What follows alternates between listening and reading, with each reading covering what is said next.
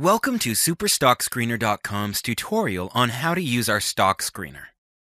Our stock screener is one of the most powerful online because in addition to allowing you to screen for traditional financial metrics, it allows you to screen for stocks based on how they are rated by our proprietary rating system.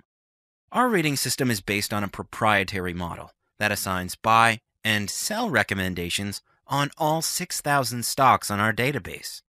A stock can be rated as a strong buy, buy, hold, sell, and strong sell. For more information about our rating system, please check out the tutorial for this service. So let's get started. From anywhere on the site, click on the Stock Screener tab in the main menu. On the Stock Screener page, you'll be presented with different screening criteria available to you.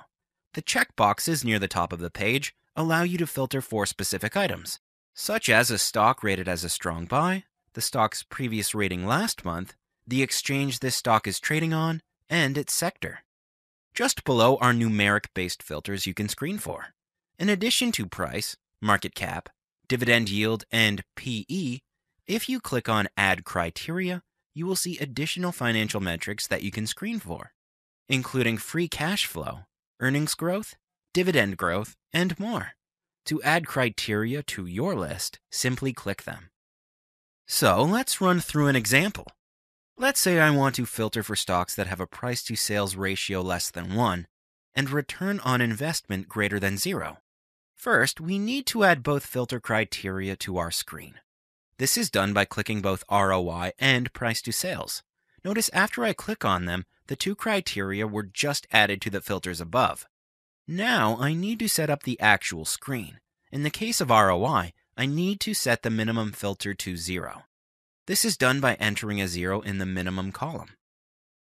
As for price to sales, since the maximum I'm going to allow is 1, I need to enter a 1 in the max column. By the way, when I enter the data, notice how the orange sliders are automatically adjusted.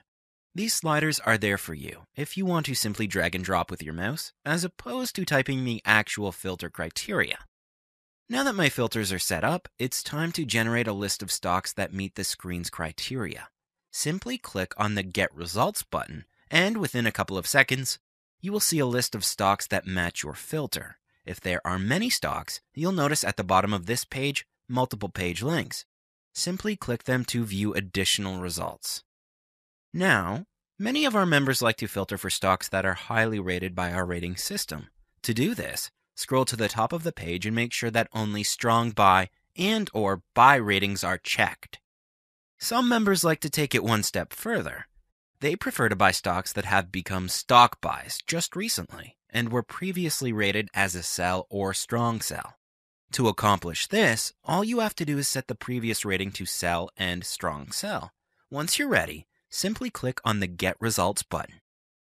By the way, if you'd like to conduct further analysis, I urge you to download all your data to a spreadsheet. The download button is just at the bottom of this page. And that concludes our tutorial on how to use our stock screener. I hope you found it helpful. If you have any additional questions, please feel free to contact us by email or by phone. If you know anyone who might benefit from this video, I encourage you to share with them. And if you found this video helpful, please click the like button below. We would really appreciate it. Thank you very much and have a nice day.